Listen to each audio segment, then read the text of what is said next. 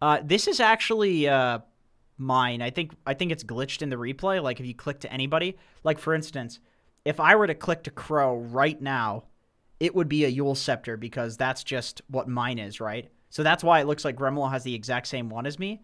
So if I click to Crow, you can see here.